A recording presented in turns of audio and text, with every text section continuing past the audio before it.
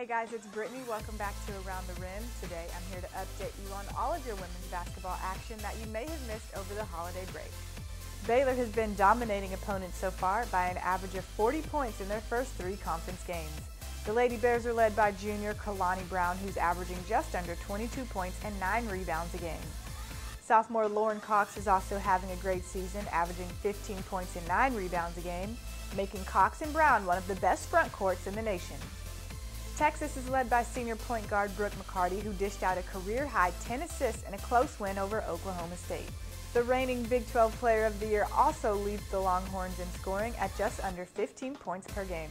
Iowa State's Bridget Carleton scored her 1,000th career point against Kansas, and as a junior, will continue to move up the all-time scoring ranks with a lot of basketball left to be played in her career.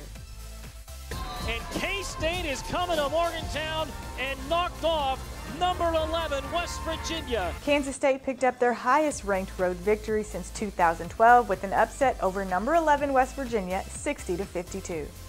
While head coach Brandon Schneider and his Jayhawks are 2 and 1 and picked up his first ever conference road win at Texas Tech. Big 12 play continues this weekend on Saturday, January 6th with Baylor taking on Kansas and Sunday, January 7th, Iowa State at West Virginia, Texas at Kansas State, Texas Tech at TCU, and Oklahoma at Oklahoma State. I will see you guys next time and for the Big 12 Conference, I'm Brittany Graham.